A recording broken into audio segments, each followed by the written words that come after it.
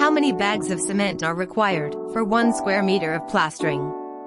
Let us assume mortar ratio is 1 colon 4, and thickness of plaster is 12 millimeters for 1 square meter.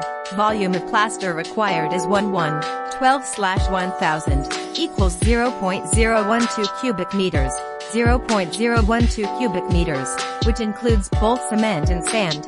So cement required equals 1 slash 1 plus 4, 1.54 0.012 equals 0.0036 cubic meters equals 0.0036 times 1440 is equal to 5.2 kg. Density of cement equals 1440 kilograms per cubic meter.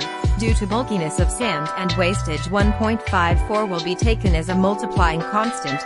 Sand required equals 4 fifths. Asterisk 0.012 equals 0.0096 cubic meters usually sand is measured in CFT, so 0.0096 asterisk 35.28 equals 0.33 CFT cement equals 5.2 kilograms and sand is 0.33 CFT.